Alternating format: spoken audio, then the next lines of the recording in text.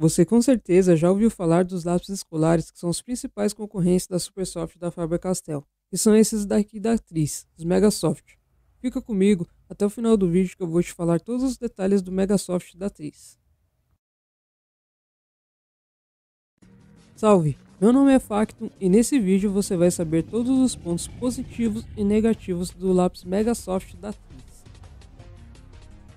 Vamos começar a análise falando um pouco da caixinha. Aqui podemos ver que elas vêm com um revestimento brilhoso e tem também um apontador grátis. Esse que eu peguei tem 36 cores e vem mais dois lápis neon que viram quatro cores, porque é daqueles cortados no meio que vem duas cores cada lápis. E tem também um de metal que tem duas cores no mesmo lápis. E dá um total de 39 cores nessa caixinha, além do apontador. Atrás tem apenas as informações do lápis de onde foi fabricado e os bônus da caixinha. O legal dessa caixinha é que os lápis vêm nessas bandejas de plástico, onde dá para guardar os lápis e na parte de baixo da caixa vem o apontador. E agora falando sobre os lápis, eles têm um formato triangular e tem a mina mais grossa do que os lápis comuns. Vem escrito nele também qual a cor, o que facilita bastante na hora de montar as paletas de cores antes de começar a desenhar. E esse detalhe no nome do lápis é bem bonito. Mas agora, começando aqui o desenho do review, eu fiz esse esboço usando uma folha Canson 120 gramas e usei caneta Bic para contornar. Se você quiser ver umas dicas de como contornar com caneta Bic, acesse o vídeo que eu fiz dando 5 dicas para melhorar o contorno. O link vai estar na descrição ou no card aqui em cima. Eu testei esses lápis em outros desenhos antes de trazer esse aqui para o canal, fazendo o review, para ter uma impressão melhor sobre os lápis. E agora, vamos falar um pouco sobre como que é colorir com esses lápis. Eu notei que eles são bem macios mesmo, então, na hora de colorir, eles preenchem muito fácil os pedacinhos brancos da folha. Outro ponto muito bom desse lápis é que as cores são bem vivas, são bem saturadas, e nessa caixa que eu peguei tem as cores dos tons de pele, o que já facilita bastante para fazer os personagens. Alguns pontos negativos agora. O lápis tem uma ponta um pouco frágil e quebra na hora de apontar se não tiver cuidado. Por ser muito macio, ele acaba gastando muito rápido.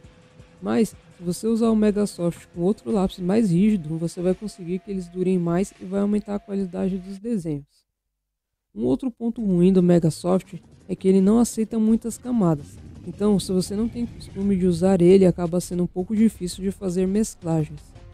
E por, ter a ponta mais grossa, ele também dificulta um pouco na hora de fazer detalhes muito pequenos. Mas, novamente, você trabalhar com dois lápis de cor na hora de colorir acaba valendo muito a pena.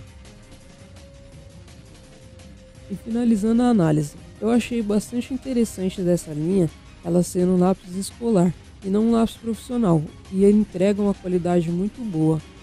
Em questão de tonalidades, as cores são bem vivas, o que deixa o desenho muito bonito. A cera, por ser macia, deixa o desenho com acabamento bem liso. A qualidade da caixinha é ótima e os lápis, por ter formato triangular, fica bem confortável para usar em desenhos grandes, que levam mais tempo para terminar. Isso tudo faz com que os lápis da Megasoft da Atriz tenham uma ótima qualidade em relação a preço e por ser um lápis escolar tem um valor bem acessível. E tem também uma variação de cores muito grande com as caixas separadas de lápis. Por exemplo, os tons pastéis, tons metálicos, tons neon, tons de pele também. Sem falar nas caixas menores que servem para repor, por exemplo, quando você compra uma caixa grande. Dá para comprar caixinhas menores e repor só algumas cores, por exemplo, com a caixinha de tons de pele. E falando nisso, Falando nisso, eu sempre compro os meus materiais na Amazon, porque lá, além de chegar rápido, os materiais são baratos e sempre vêm bem embalados. E eu vou fazer o seguinte, eu vou deixar na descrição do vídeo o link da onde eu comprei os meus, para você também dar uma olhada lá. Caso você tenha interesse e ver também com mais detalhes as outras caixinhas que eu te falei. Vai estar tudo aqui embaixo na descrição, tá bom? E se você tiver alguma dúvida, pode me chamar nos comentários ou então lá no meu Instagram, que é factumrealizar. E é isso, eu te passei todos os detalhes que eu observei nesses atos. E agora, fique aí com o restante da timelapse. Valeu mesmo, tamo junto e é nóis.